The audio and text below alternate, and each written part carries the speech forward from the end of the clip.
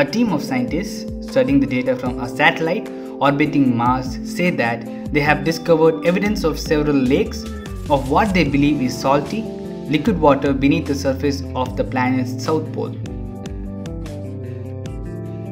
Liquid water is vital for biology, so the finding will be of interest to the researchers studying the potential for life elsewhere in the solar system. But the lakes are also thought to be extremely salty, which could pose challenges to the survival of any microbial life forms. Scientists believe that billions of years ago, water flowed in rivers and pooled in lakes on the Martian surface.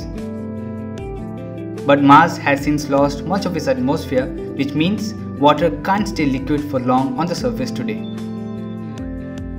The discovery, detailed in a study published in journal Nature Astronomy, expands upon a tentative finding in the year 2018, which was made using data from the European Space Agency's Mars Express satellite.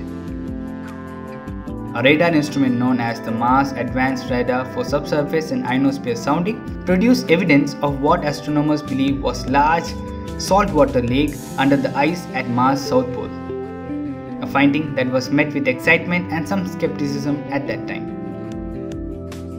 Since then, the same group of scientists examined 10 years worth of radar images sent from the spacecraft and found not only more evidences confirming original salt lake but enough for at least three more lying underneath the Martian surface.